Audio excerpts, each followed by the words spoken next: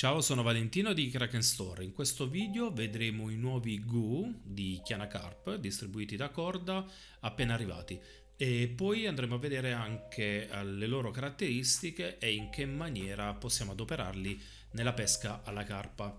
Allora, innanzitutto vediamo quali sono. C'è il Dragon Breath, quindi il respiro del drago in versione Supreme. Poi c'è il White Squid. Esistono già dei GU al gusto, all'aroma eh, squid, però questo, questa versione è con il liquido bianco. E poi c'è il salami, in versione però questa smoke. Allora, prima di passare a vedere i singoli gu, ehm, voglio rispondere a molte persone che mi chiedono, Vale, ma i, eh, i liquidi, i gu in particolare, funzionano? Ecco, la risposta è dipende perché non esiste un liquido che funziona e il liquido che non funziona.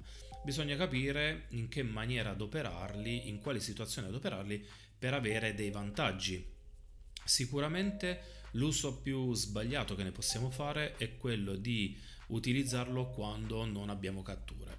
Sembra un paradosso, ma è così, perché nel caso in cui noi non, non stiamo avendo un feedback positivo dal nostro stile di pesca, dalla, dalla nostra tattica, è quasi sempre inutile aggiungere un GU per, per pensare di poter ehm, diciamo risolvere la situazione.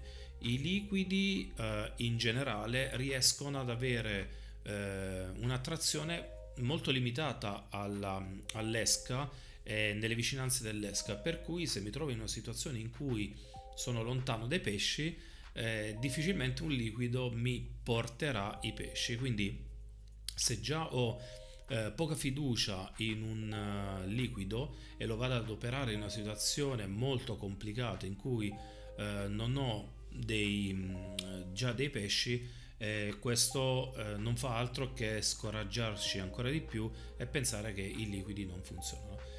In realtà i liquidi eh, hanno quella funzione di eh, migliorare il rating di cattura, quindi eh, farci catturare qualche pesce in più, per esempio nel feeder, nel momento in cui abbiamo già dei pesci che si stanno alimentando, oppure aumentare mh, la trazione di un'esca che magari eh, è poco, poco ricca di liquidi o voglio cambiarli colore, ecco che con i GU riesco ad avere questa soluzione perché ho deciso io che quella modifica ehm, possa essere una modifica positiva e risolutiva.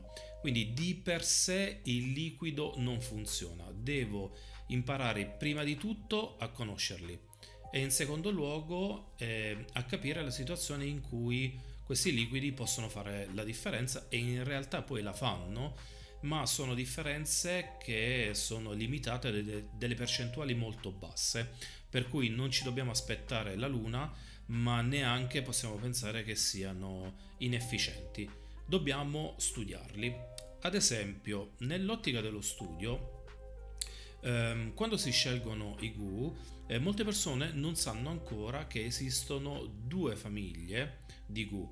Esistono, eh, ve lo nominate all'inizio i Supreme e poi ci sono i, eh, eh, la versione Smoke e la leggete eh, sempre sulla bottiglietta.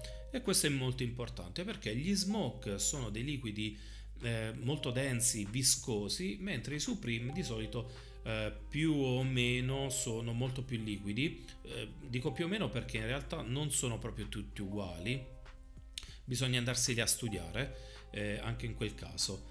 E, ehm, e questa è la prima discriminante, prima ancora dell'aroma, prima ancora del colore, perché questo ci, ci dice un po' in che maniera poi questo liquido funzionerà in acqua.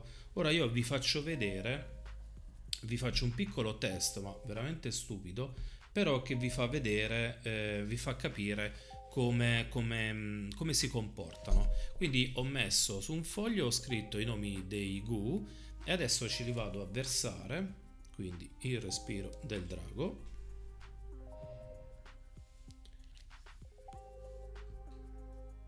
La versione squid e infine il salami, che salami è un aroma, mi ricorda il Frankfurter, quindi la salsiccia, quella molto speziata. Eccoli qua. Ora, nel momento in cui io vado ad alzare il foglio, vedete che ci sono le versioni Supreme che subito partono in picchiata verso il basso, mentre la versione Salami rimane ferma. Perché come vi ho detto all'inizio, questa versione qui è una versione Smoke, quindi è una versione molto densa. Questa cosa è molto importante perché adoperare una versione molto liquida e una versione molto densa avrà poi in acqua degli effetti totalmente diversi.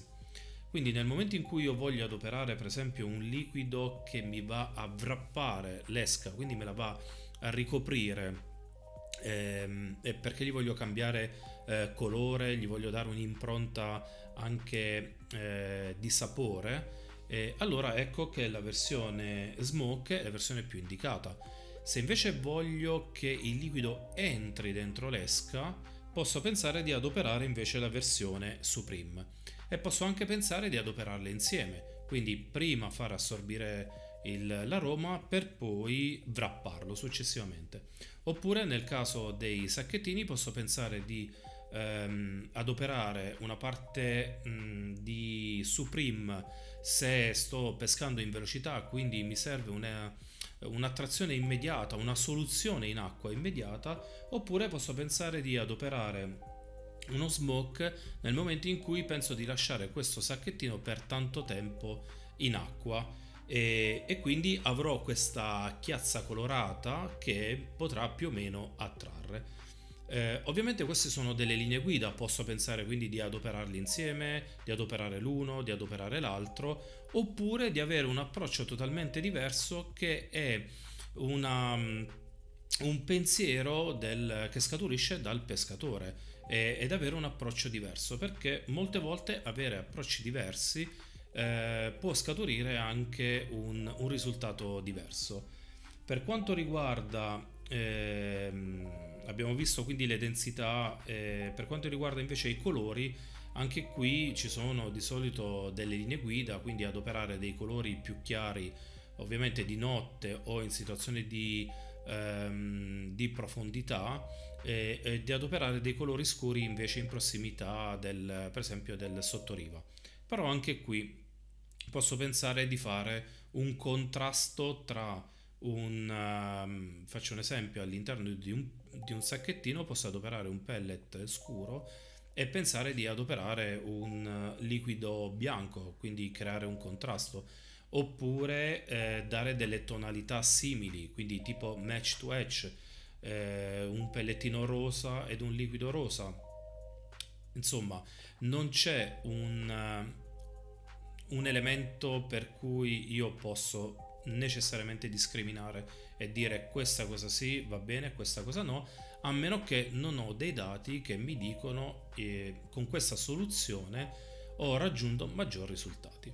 Per quanto riguarda la Roma, bene o male il discorso rimane lo stesso anche qui eh, posso pensare di utilizzare degli aromi tipici che vengono adoperati spesso nelle, nelle acque dove pesco e quindi so che hanno già un uh, tasso di successo oppure posso anche pensare di adoperare degli aromi particolari tipo il respiro del drago è uno speziato uh, dove si sente tantissimo la cannella e quindi adoperare degli aromi che normalmente non vengono adoperati eh, dagli altri pescatori e quindi magari i pesci non l'associano ad un pericolo eh, rispetto a degli aromi che invece normalmente vengono utilizzati e con cui i pesci hanno delle risposte negative. E per questo motivo, quando abbiamo a che fare con i liquidi, l'unico eh, modo per capire se nella nostra situazione, nel nostro lago, e col nostro stile di pesca funzionano o meno, bisogna testarli, bisogna provarli.